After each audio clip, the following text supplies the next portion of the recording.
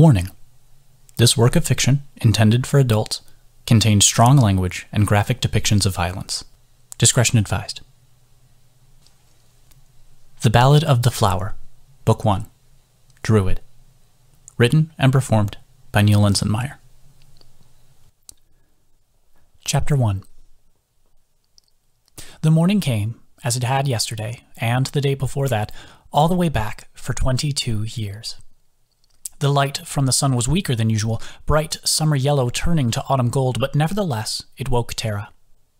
Tara stretched into the air above her bed, the cold pricking her fingers a bit. She sat up, moved the fur blankets around, and swung her feet onto the floor.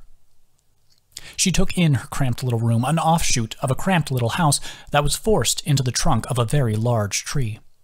As she moved to the main room, she traced the carvings in the walls, stories the Bog had told her when she was small, the history of her teachers and of the world itself. There was the first druid, Altrix, ascending to godhood. Here was Pravella Treestrider, who made peace with the Dryads. On and on and on. She made an effort to avoid the carvings on the other side of the room, the strange, abstract figures that depicted the war that priests had waged on her people. Even after seeing it day after day and night after night, it made her shiver to think what would happen if the priests ever caught her. When she was younger, she'd had nightmares about the little carvings coming to life and attacking her. She would cry so loudly that Bog would have to sing to her to get her back to sleep. She looked away. In the main room, which functioned as a kitchen, library, guest room, and anything else they needed, was a large oak slab that still held dishes from last night's dinner. She carefully stepped over Bog, who was asleep in his shell on the floor, and began to clean up. Since it was only the two of them, there was hardly any mess. Two bowls washed, she thought to herself. She took the empty bucket by the door with her to the pond. She filled it with water before taking in her own reflection. Bog said that it was good to be familiar with yourself, that way you know when something is wrong. Her hair was still black and frizzy, her skin was still tanned, and her eyes still had bags under them. She looked over her plain face and, finding nothing wrong with it, she let her reflection disappear as her hands broke the water's surface. She washed her face and brought the water inside. There was plenty of sunlight now, and she could see the row of books above the fireplace were in need of some dusting. She sorted them and moved back to her room to get dressed for the day. After picking out a set of hand-sewn pants and work clothes, she went to the garden. It was small and mainly for alchemical ingredients, but the few vegetables that were there always needed weeds pulled. With a snap of her fingers, the undesirable plants seemed to wither away, leaving a thriving, healthy garden. A few years prior, she would have actually had to pull the weeds, but Bog had deemed her studied enough to learn some basic spells. She enjoyed magic. It made her feel connected to nature, even more than she usually did. There was something about the power one felt from nature actually paying attention to you. Tara stretched out in the morning sun. The grass was soft underneath her, and it was early enough in the season for the leaves to change but not fall. The birds were bickering again. Too many birds, not enough seeds, all that, but it was good to just listen to the conversations. All she could see was the orange glow through her eyelids. Tara? The voice was slow and deep, drawn out in the worst kind of drawl. I'm out here, Bog, Tara said, not moving. She needed to get all the warmth that she could. What do you need? She heard the walking stick, the slow, hobbled steps coming closer. Finished already? Bog stretched his long neck down. Tara could sense his odd reptilian eyes on her. Yeah, Bog, I finished like an hour ago. I've been doing the same chores for 12 years. Hmm. Bog seemed to rattle as he sighed. Ah, the haste of youth, he said to be a hatchling once more. His voice drifted off. He stared into the distance for a few seconds, then carried on. I think I'll go for a walk, he said. Okay, Bog. Be safe. Tara still hadn't moved. There were only so many hours of sun left in the year. She was going to use every one of them.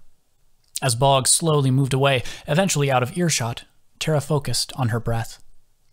The smells of the woods were just as important as the sights and sounds. The ground under her was beginning to dry out for the winter. She could smell the red lilies that she tended to in Bog's Pond. The wind often carried new information to her predators, hurt creatures, the occasional intruder or customer. Too long, she thought. Too long since she'd spoken to another human. Bog was an excellent teacher, of course, but terrible conversation. And lately, her lessons had been slowing down. She was learning advanced druidcraft, supremely difficult natural magic, but with no one to practice on. It was all only theory. Hours went by as she breathed in and out. Her meditations were interrupted by a scurrying sound. Tara felt tiny paws crawl up her leg and onto her chest. Rapid squeaks crowded her ears. What? Slow down. Who stole your food? She didn't need to open her eyes to recognize a chipmunk. The squeaks came again. All right, all right. I'll go talk to him. Where is he? She sat up and stretched out her arms. The chipmunk had latched onto her tangled black hair and was now on her head. Yes, I know, I know, she kept replying, trying to calm the chipmunk down. I'll get your acorns back, sheesh. She moved past the pond, past the tree that had been her home since she could remember, and towards the direction the chipmunk had indicated. Do you think maybe this could be something you work on, I don't know, without my help? There were squeaks and a clawing at her head. Ow, fine, forget I said anything.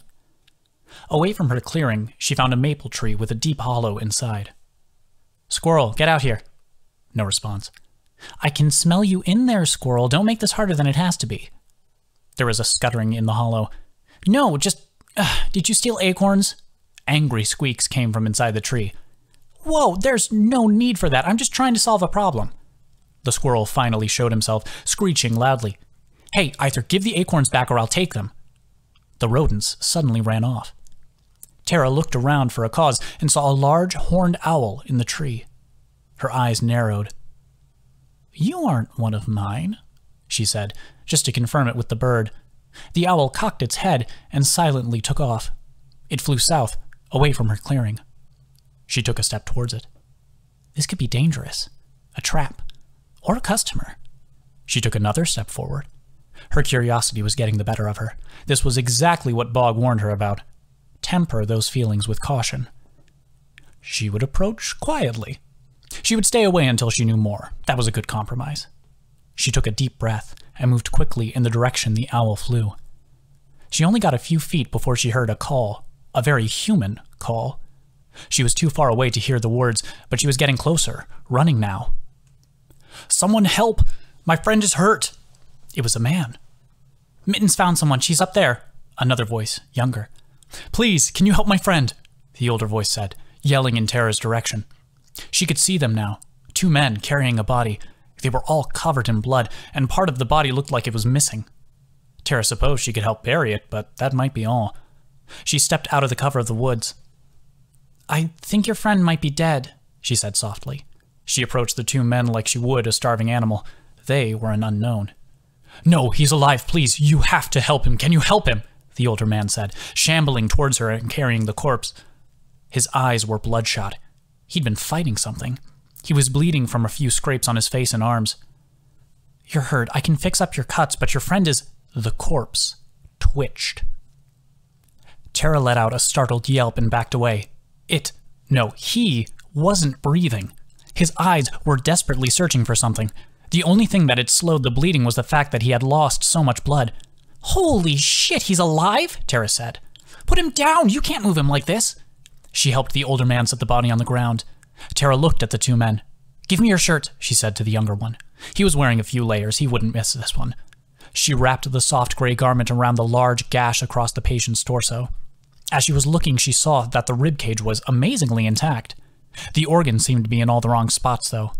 This would be ugly. What happened? she said, making sure the wrap was tight. He got attacked by an owlbear, the older one said, catching his breath. He got really beat up. Is he going to be okay? Tara couldn't hide the uncertainty on her face. Not like this. Can you carry him a bit further? Tara said. The older man steadied himself, and Tara could see that his frame was fairly muscular. Yeah, I've got him. Where are we going? he asked, putting his hands under the body. Up the hill and over a ways. I have a place I can take care of him. Tara took the lead, wiping some blood on her pants. As they ran, she called to a robin chattering above her. Hey, go find Bog. Tell him we have company. As they moved forward, she spotted the large owl again, eyeing her suspiciously. They reached the clearing, and Tara had them set the body down on the large wooden table inside her tree. What's his name? Tara said. hastily unwrapping the cloth. What? The older man looked incredulous. What's his name? I need to talk to him. Do you want him to live or not? His name is Adam, the younger man finally said. His voice shook a bit when he spoke. Thank you. Adam? Adam, can you hear me? Tara looked through the small pouch on her hip, trying to find the right berry. Adam gave an eerie sound. Hey there, Adam. I'm Tara. I need you to eat this berry. It's going to put you to sleep, okay? Tara took a small black berry from her pouch. Open his mouth, she said to the older man. She watched his face contort as he gently pulled Adam's lips apart.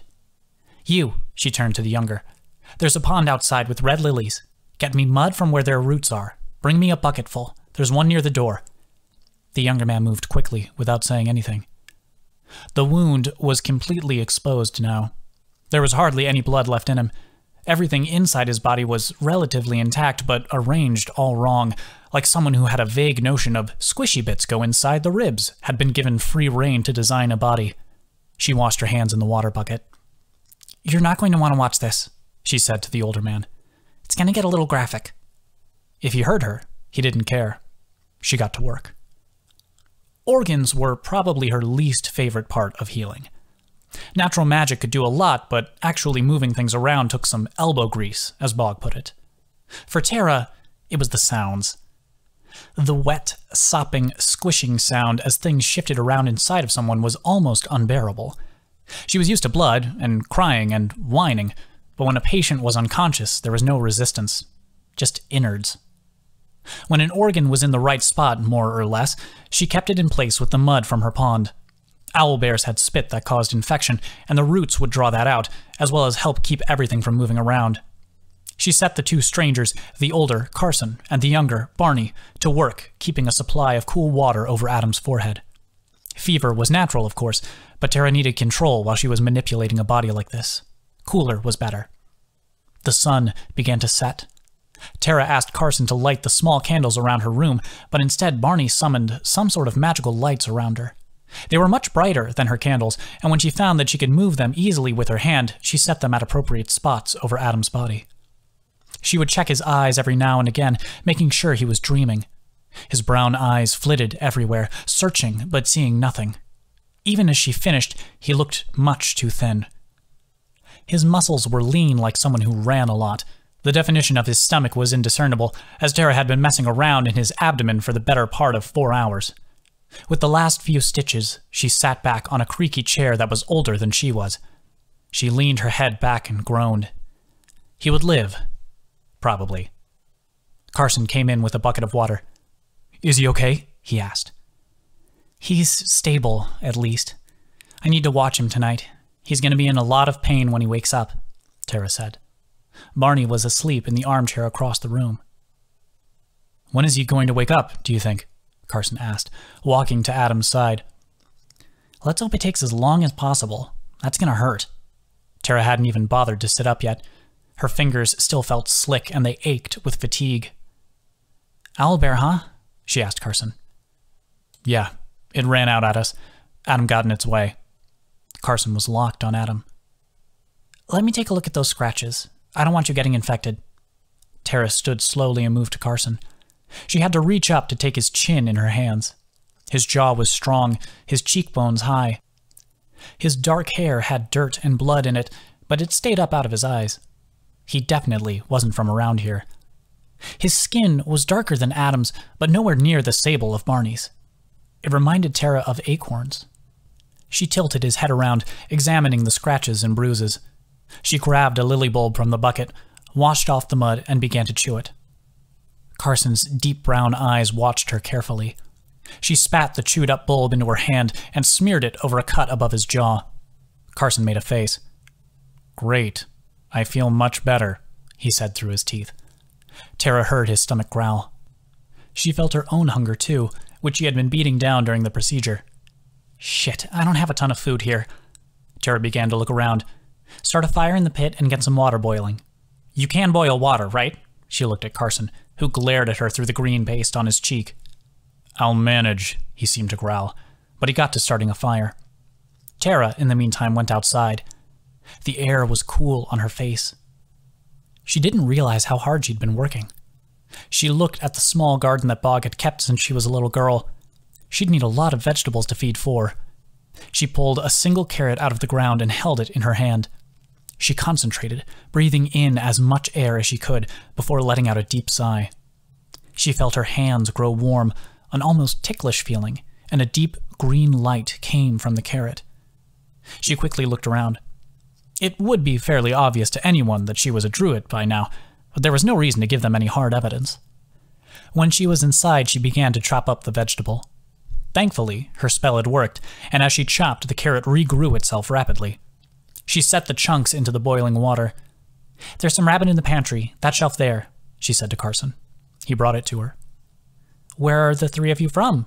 she asked, once she'd gotten everything into the pot. Out of town, Carson said. Tara felt her stomach sink. It seemed she'd have to wait a while longer for some human interaction. I hear they have great weather over there, Tara said, in a last ditch effort to keep the conversation going. Carson just sat and looked at Adam. Staring at him won't help, she said. She'd been around grieving families before. It was unfortunate that they were always allowed so close. Carson just kept looking. What would she want if Bog had been hurt? She'd be feeling powerless. She'd want something to do. She took notice of the weapons on Carson a mean looking sword and a round shield. Hey, do you want to go stand watch, maybe? Tara offered. Carson looked surprised, but then seemed to understand. Yeah, yeah, I'll go set up a perimeter. He was tall enough to touch the ceiling if he wanted to. He stood and went outside. Tara took a few moments to stir the soup, then sat next to Adam. She could probably fix the scar when he was more stable. She was desperate to try some new techniques. She was tracing the stitches when a pale hand grabbed her wrist hard. Carson! Adam said. He was trying to yell, but he didn't have enough air. Tara fought the urge to pull her hand away. Is Carson safe? The brown eyes were focused now. They seemed to glow as Adam took stock of the room. yes, he's safe. You saved him. He's outside. I can go get him. Tara tried to stay calm, but the grip on her wrist was surprisingly strong. Adam relaxed a bit, sighing and breathing shallowly. No, no, not yet. Adam looked around, his head staying still, his chest seemed to strain with the effort of breathing. His eyes found Tara's. I'm Adam. He tried to raise a hand, but decided against it. I'm Tara, she said. You saved me. His words only came when he was already exhaling. Tara nodded and rubbed her newly freed wrist. Thank you. He managed a weak smile. You're a druid, aren't you? Tara's face must have replied for her, because he immediately changed tact. No, no, you're safe. I mean, we aren't exactly priests. His smile showed again. How's Carson? Is Barney here too? Barney is asleep. I think Carson is still really worried, Tara said. She was still uneasy from his druid comment. Adam sighed and winced in pain. Okay.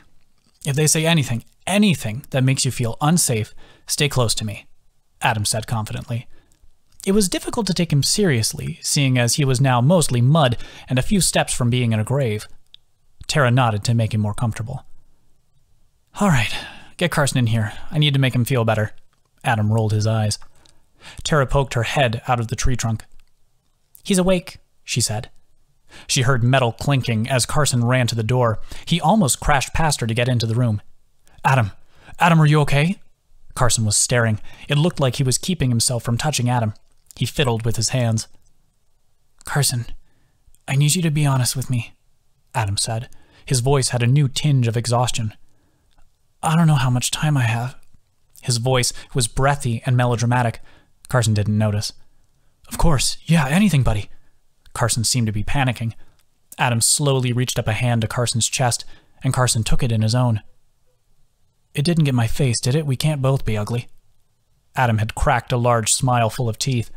Carson dropped Adam's hand and turned away. His hands turned into fists. You jackass! Carson yelled. He looked torn between smacking Adam and letting him recover. Why would you get in the way like that? The yelling stirred Barney from his sleep, and he stood on the other side of the table. You know I can take a hit better than you can. I would have been fine. Carson was somewhere between talking and yelling that Tara wasn't used to.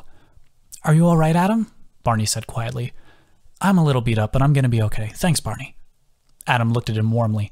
Now I have to send a report, Carson continued. The boss is going to wonder why we're so behind schedule. We can't move you like this, so we've definitely missed the connection with our muscle. Carson was trying to pace, but the room was so crowded that he could only spin in a circle. Do you need anything? Barney asked. Some water would be amazing, actually, thank you, Adam said softly.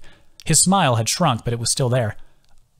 I don't even think I can get a refund on these tickets. Carson had stopped yelling at Adam and started yelling to himself. Now we need to find new muscle, get different tickets to the colonies. I'm not made of money, you guys, and there's no way to write incompetence on an expense report. Barney had brought some water to Adam's side. He struggled to sit up, and Tara had to stop him. No, you don't, she put a hand on his chest.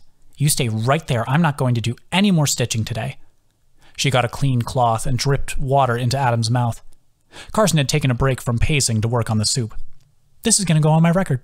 How am I ever going to get another job after this? He ranted under his breath. Gotta pay for the boat, gotta pay the healer. This is all coming out of your share. Some broth spilled as he stirred angrily. Dinner is ready, he finally said, still grumbling. You let Carson cook? Adam whispered to Barney. I sleep when I get stressed out. You know that, he whispered back. I did the cooking, Tara added, trying to match the tone of their conversation. The two of them nodded at her. She couldn't help but smile. The soup was fine. For short notice, it was almost impressive. It had been years since anyone had brought spices to trade for healing, and she only had enough for a truly special occasion. Despite Tara's advice, Adam had begun sitting up. He wasn't allowed off the table, but she took the opportunity to clean it, one section at a time. Carson had taken Barney's spot in the armchair, and Barney seemed comfortable on the floor, reading some of the books from the shelf. Tara was glad she had dusted. That's totally ironic, Adam said. Rabbits and carrots in the same stew? Definitely irony. He was gesturing with a spoon. No, it isn't, Carson said. He was rubbing a bruise on his arm.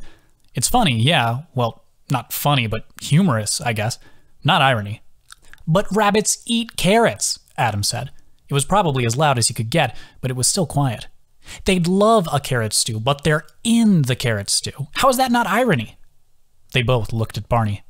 Not irony in the traditional sense, but modern definitions and uses are always changing, Barney said without looking up. See, I'm right, Adam said, smiling. He just said it's not irony. Carson was getting more frustrated.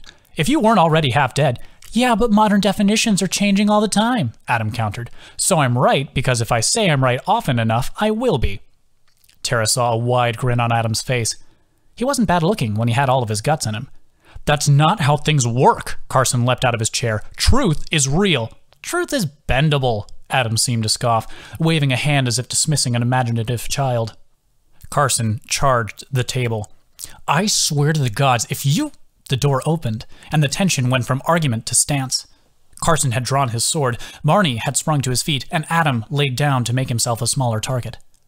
Bog walked in. His walking stick clicked when it made contact with the wood of the floor. Company? he said, his drawl grotesque. Tara looked at the faces of the others. Barney had a quizzical look. Adam seemed pleasantly surprised. Carson looked baffled. To be fair, seeing a large, three foot tall turtle that stood on two legs and spoke was probably not the easiest thing to deal with. Bog entered, seemingly unaware of the dangers these strangers posed. Welcome to my home, Bog said plainly. So sorry I was not here to greet you properly. His sing song voice had charmed Adam and apparently pissed Carson off. No one moved as Bog stepped closer to the table. How are you feeling, young man? he asked. Adam was smiling broadly. I am just so great right now. Adam kept his mouth open and was shaking his head in disbelief. Excellent, excellent, Bog said, moving forward into the now claustrophobic space. No swords in the house, please, Bog said to Carson, who warily sheathed his weapon. Bog reached Barney and inspected him for a moment. Ah, he crooned, a wayfinder. Bog stretched out a scaly arm to Barney and wrapped his claws around the human's forearm. Tell me, Bog said, leaning in conspiratorially, are you here for your trials? One of Bog's eyes narrowed. Oh, no, sir, Barney managed. I finished my trials two years ago. Boggs slowly shook hands with Barney. My belated congratulations, Bog sighed, his voice arpeggiating wildly. Your people's traditions and mine are one and the same. Bog released his claws. Tara noticed Carson staring. I believe, Bog continued, I have some maps around here for trade, should you be interested. Barney looked bewildered. I'd appreciate that, sir. My name is Barnabas Winsett. My friends call me Barney. Barney, Bog said, overjoyed. A pleasure, a pleasure. My name is Bog. Bog gave a toothless smile. I trust that these are your associates? Bog gestured a claw at the other two. Yes, Barney said sheepishly. This is Carson, and on the table is Adam. Adam gave a smile, but Carson stuck with his disbelieving look. Charmed. Bog bent his neck low. I shall return with maps just a moment.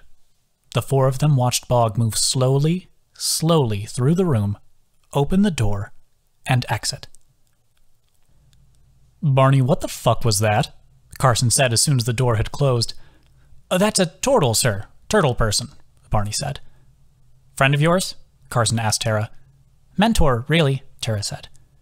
Is he always so deliberate? Carson asked. Tara could see he was doing his best to be polite. Honestly, I've never seen him more excited, Tara replied. Gods, it's like talking to Decaf, Carson said. I love him so much, Adam said from the table. If he has maps, I'm definitely trading with him, Barney said. Tara had gone from craving conversation to being overwhelmed. This was more than she had heard in probably a year, talking to Bog included. These three seemed to talk constantly, and one of them didn't even have full control over his lungs. Tara seemed to shrink into her chair, content to listen to these human birds chirping. Barney, can you get a message to the boss? Carson was giving Adam a once over. Tell her we hit a snag, and we're going to need to find new muscle. We'll get back on the road when Adam is ready. I'm ready now, Carson, Adam said, his shallow breathing making him painfully quiet. Yeah, no, you're not. Carson put a hand on Adam's shoulder. Tara, can we stay here for the night? It took Tara a second to come out of herself. Adam isn't moving for at least two days. You're more than welcome to camp outside. She stood out of habit. She didn't want them to leave just yet. It was a strange feeling, wanting solitude and company at the same time. Bog returned with a string of turtle shells in his hand. Here we are, Bog said. Carson covered his mouth. Allow me to explain the reading of these maps. In the cramped space, Bog's voice seemed even more song-like. Within a few moments, Barney and Bog were talking. Countries came up that Tara had never heard of. Their words faded into a fog that Tara's brain refused to comprehend. The fatigue in her hands had spread to her whole body. Carson and Adam were talking now, too. Simple conversations about pain and responsibility, a general discussion of who owed who. Tara watched them smile at each other. She felt herself smile too, a little bit at her handiwork. It was a miracle that Adam had survived, but also at how they moved around each other. She thought about her own movements before the fog of exhaustion overtook her. End of chapter.